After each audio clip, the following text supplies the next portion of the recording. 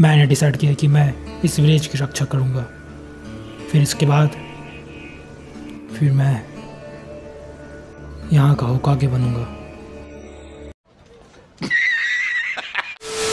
Hi there guys welcome back to my channel bad shadow और ये है trying to dub anime Hindi series जिसमें मैं कुछ एनिमे क्लिप्स डब करने की कोशिश करता हूँ।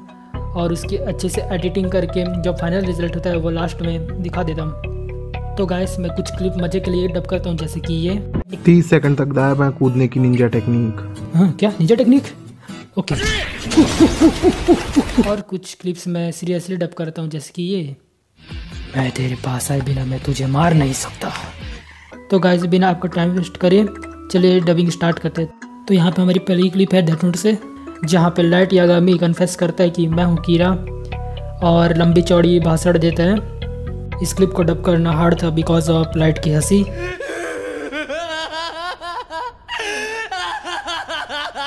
लाइट जैसे हँसी निकालने के लिए मैंने लिटरली 40 से 50 बार कोशिश की इसके जैसे हँसी निकल जाए, पर तो भी मैं वो कर नहीं पाया। जैसे तैसे करके मैंने वो हँसी निकाली, थोड़ी बहुत एकदम सेम नहीं थी।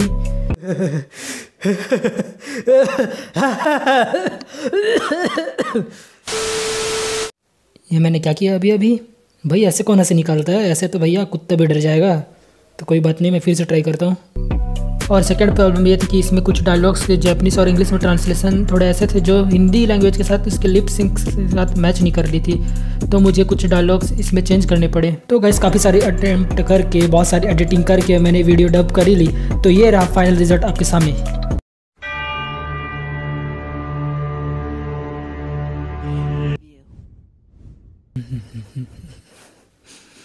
ये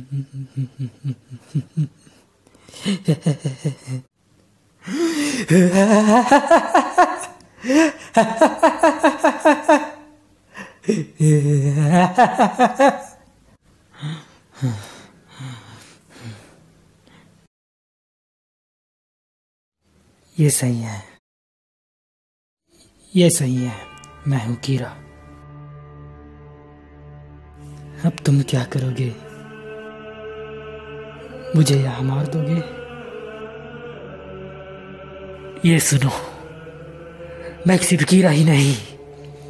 मैं हूँ इस नई दुनिया का देवता। कीरा अब इस देश का कानून बन चुका है।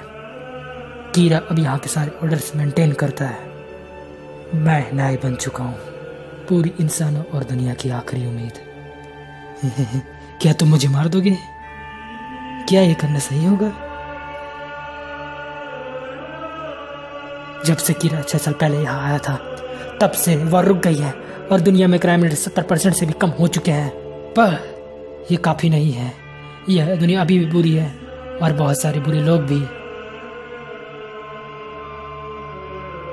किसी न किसी को तो ये करना होगा। जब वो नोटबुक मुझे मिली थी तो मुझे पता था कि यह मुझे ही करना होगा। नहीं, वो मैं ही था।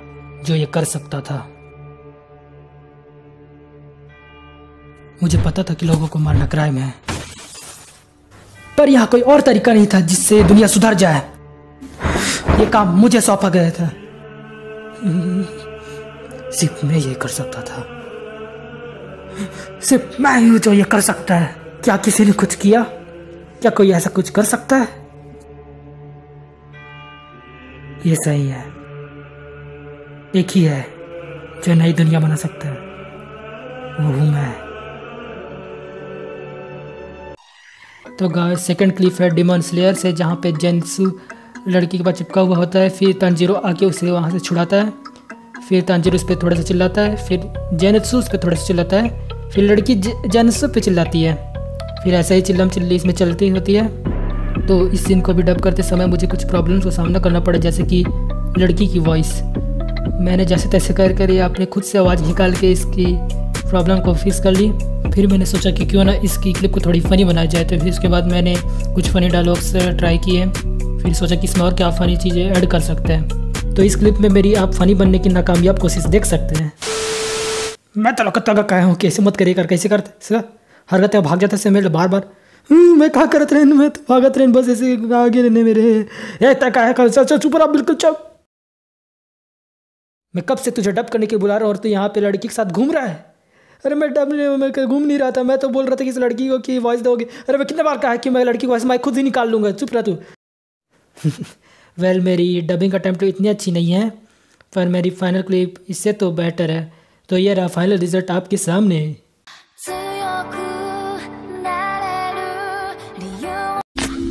मैंने तुमसे कितनी बार कहा कि ऐसे लड़के को मत चढ़े करो। फिर भी तुम मेरी बात नहीं मानते। नहीं नहीं मैं इसे छेड़ नहीं रहा था। मैं तो बस खाना मांग रहा था। मैंने अपनी आँखों से देखा कि तुम उसे छेड़ रहे थे। मैं छेड़ नहीं रहा था मैं तो बस खाने मांग रहा था उससे आपका शुक्रिया। मैं तो बस तुमसे खाना मांग रहा था बस अपना मुँह बंद करो। तुम मेरे पीछे से मेरा हाथ पकड़ लो। वो तो मैं अचार मांगने आया था पर तुमने मुझे भगा दिया। हाँ चुप हो जाओ।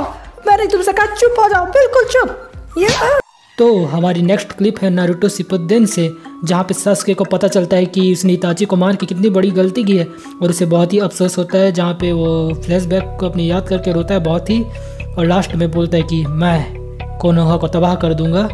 जिसे पर जिसे पता नहीं है कि कोनोहा क्या है, मैं बता देता हूँ कोनोहा लिफ विलेज है जापानीज में उसे कोनोहा कहा जाता है, शायद तक ऐसा ही है, मुझे भी नहीं पता इतना अच्छे से।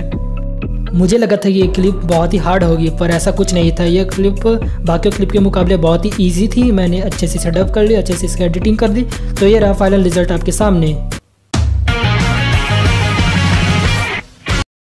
वो चाहता था कि वो क्रिमिनल और धोखेबाज की तरह मरे। उसने सम्मान की जगह अपमान को और प्यार की जगह नफरत को स्वीकार किया। और उसके बावजूद भी इताची उचिया अपने चेहरे पर हँसी लेके मरा। कोनोहा और सबसे बढ़कर ससके उचिया के भले के लिए। डैड सिर्फ़ तुम्हारे बारे में बात करते हैं। क्या तुम मुझसे नफरत करते हो?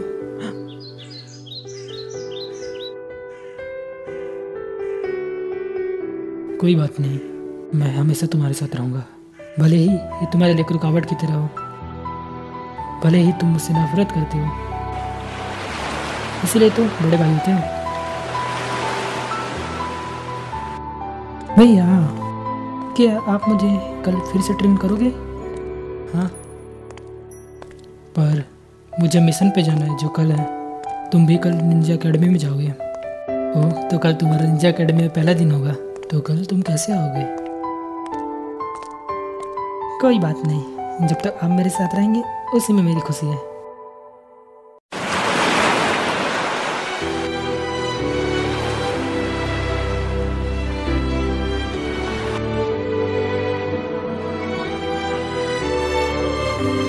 मुझे माफ़ करना सास के अगली बार ठीक है? अब हम साप नहीं हैं। आज से हमारी टीम चिल की होगी। और आज से हमारा एक ही गोल होगा। और वो होगा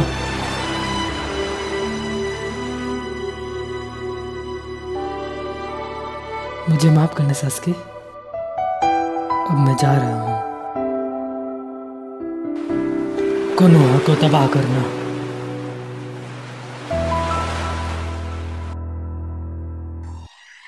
तो गैस मैं वीडियो को करता हूँ यहीं पे एंड अगर आपको वीडियो अच्छी लगी तो लाइक कर देना।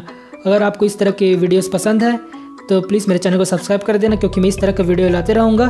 तब तक के लिए जाओ, मज़े करो यार।